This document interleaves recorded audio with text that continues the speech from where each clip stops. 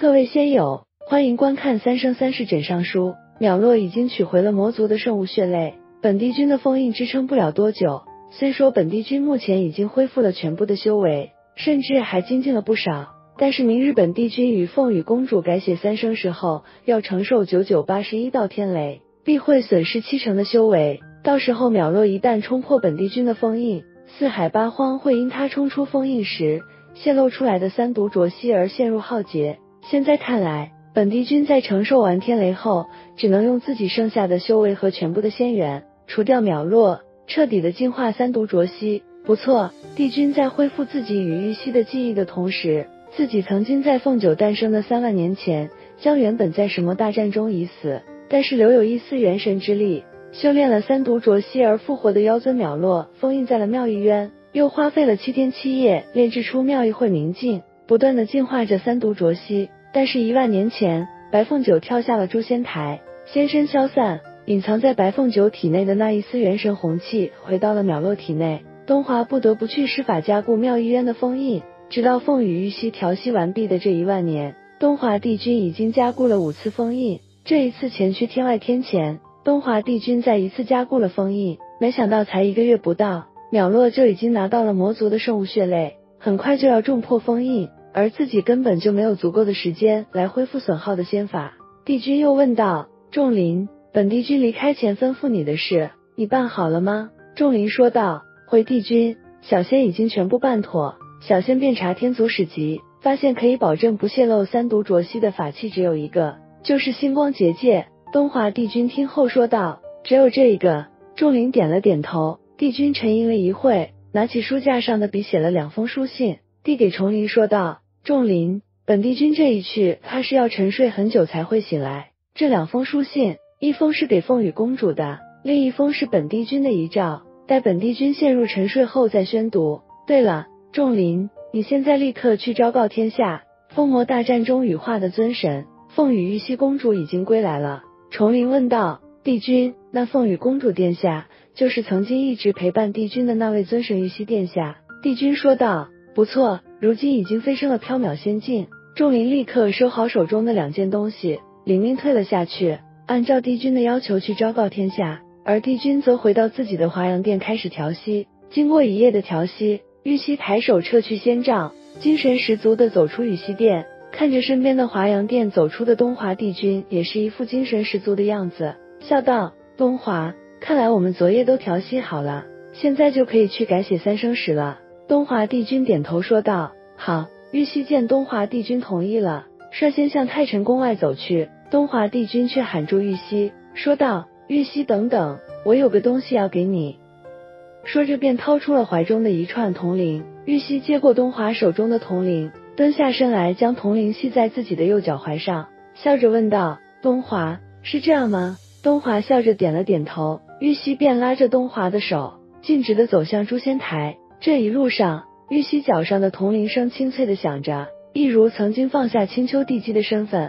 来太晨宫做一个小仙娥报东华帝君对自己的救命之恩的白凤九、诛仙台等。玉溪和东华帝君到了这天宫最不吉利诛仙台，玉溪放开东华帝君的手，走到三生石面前，单手一挥，三生石上便出现了许多成双成对的名字。玉溪便伸手唤出了东华帝君曾经为自己所造的苍云剑。将苍云剑缩小到巴掌大小，便向自己的心口刺了下去，将自己的心头血染满了剑身，然后掐了个诀，愈合自己心口的伤痕。看得东华心惊肉跳，急急的问道：“你这是干什么？”玉溪说道：“改写三生石啊。”东华问道：“你改写三生石不是用仙法吗？为何要用心头血？这不是毁去名字的做法吗？”玉溪却笑道：“东华，你这是只知其一，不知其二。”毁去三生石上的名字，的确是要用仙者的心头血，但是要改写三生石，除了需要身为女娲娘娘的女儿，也就是我玉溪的心头血，还需要汇聚仙法，二者缺一不可。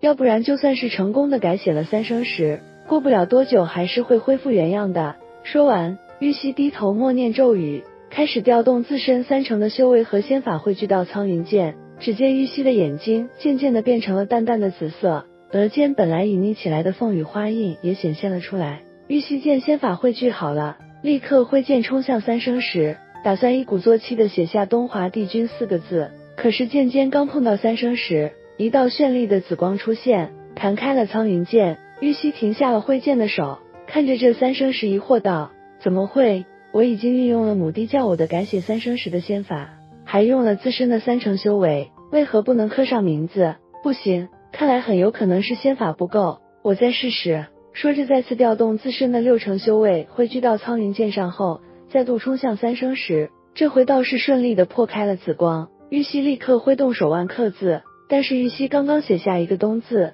这个字立刻化为了白光，慢慢消散，一如当年自己身为白凤九时，用苍河自断虎尾来三生石刻字一样。玉溪急道：“怎么可能？怎么会这样？为什么我刻不上去？这是为什么？为什么用了母帝教的仙法，依旧刻不上字？”一边说着，一边更用力的一件件的刻画在三生石上。而此时天雷已经降临，东华帝君立刻支起仙杖抵挡天雷。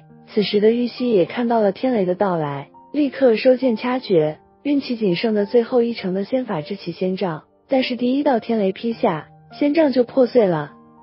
眼看第二道天雷即将劈下，东华一个箭步上前，将玉溪拉入怀中，转身背对着天雷，天雷一道一道的劈在东华身上。没过多久，身上的紫色衣袍便染上斑斑血迹，而他怀中的玉溪被他护得毫发无伤。等九九八十一道天雷劈完，东华再也忍受不住，单膝跪地。吐出一口赤金血，玉溪见状，立刻伸手搭上东华帝君的脉搏，发现他因承受天雷加之护住自己，已经损了九成的修为，说道：“东华，为什么要替我当雷劫？我不但没有成功改写三生石，反而连累你损了九成修为。”东华帝君虚弱的笑了笑，说道：“玉溪，这不怪你，以前为了这四海八荒，毅然祭献了自己的元神，历劫的时候我又伤你的那么深，这一次。”我绝对要护着你，不让你受到一丝一毫的伤害。玉溪看着眼前虚弱的东华，很想用自身的治疗术为他疗伤，但是自身的仙法已经全部耗尽了，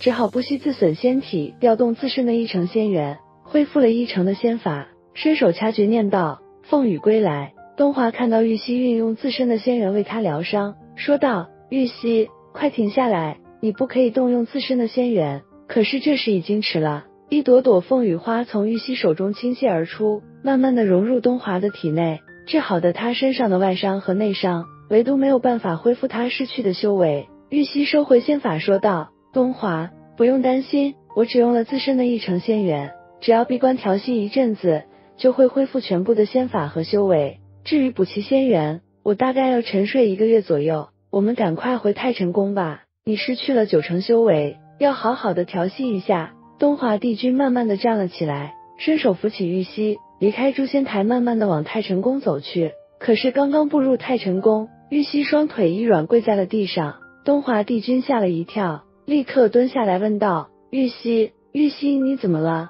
可是玉溪还没有来得及说一句话，昏倒在了东华的怀里。东华立刻伸手把脉，随后低低的说道：“这个丫头真是吓死我了。不过这样也好。”你在沉睡期间可以好好的恢复一下身体，尽快补齐你的仙元。说着便打横抱起玉溪，将她送入了羽溪殿，吩咐众灵新选出来的两位仙娥好好照顾玉溪后，便转身去了书房。